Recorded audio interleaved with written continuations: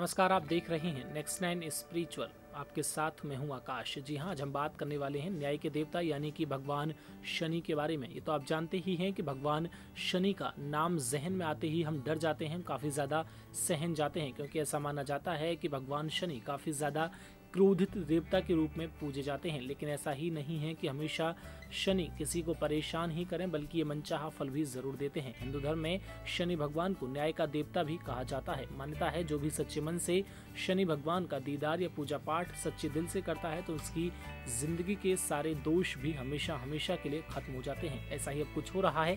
काफ़ी लंबे समय के बाद ये अद्भुत संयोग बना है, जिसमें भगवान शनि बारह में से केवल दो राशि के ऊपर अपनी काफ़ी ज़्यादा कृपा बनाते हुए नज़र आने वाले हैं। यानी कि सीधे शब्दों में कहा जाए तो इनके जीवन में किसी भी बात की कोई भी कमी इनको नहीं रहेगी, क्योंकि शनि भगवान की कृपा से इनके सारे सारे सारे सितारे पूरी तरीके से बदलते हुए दिखाई देने वाले हैं और इनका कल्याण भी लगभग तय हो जाएगा। तो चलिए आपको बताते हैं आखिर कौन सी है वो दो राशियाँ।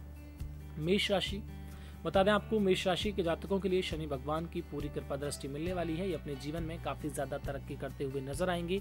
जीवन में किसी भी बात की कोई भी कमी नहीं रहेगी। वहीं ये सोच से भी ज़्यादा धन कमाने के लिए अब तैयार हो जाइए। कन्या राशि कन्या राशि के जातकों की अगर बात की जाए तो इनके ऊपर भगवान शनि की सीधी कृपा पड़ चुकी है। ये अपने जीवन की हर एक राह को आसान बनाते हुए दिखाई पड़ने वाले हैं। जो भी दिक्कत, जो भी परेशानी थी, उन सबसे भी इनको छुटकारा ज़रूर मिलेगा क्योंकि भगवान शनि की सीधी कृपा इनके ऊपर पड़ चुकी है और इनको लाभ भी ज़रूर होगा।